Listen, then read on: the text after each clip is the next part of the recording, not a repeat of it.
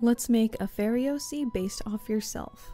If you're born in these months, you're going to be evil, and if you're born in these months, you're going to be good. If your eyes are blue, you're going to give them dragonfly wings. If your eyes are brown or black, you're going to give them butterfly wings. If your eyes are green or gray, you're going to give them bee wings. And if you have hazel eyes or other colors, they're going to be moth wings. If you have any piercings, you're going to give your character pointy ears. If you have any tattoos, give them antlers. And if you have any freckles or moles, you're going to give them a crown or a hat.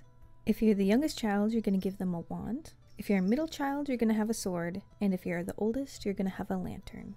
If you have a cat or a dog, you can give them a pet of some sort. And if you have an exotic pet, you can give them a potion. And lastly, if you're short, give them a mushroom dress. If you're about average height, give them a flower dress. And if you're quite tall, give them a butterfly dress. Now let's see that lovely fairy.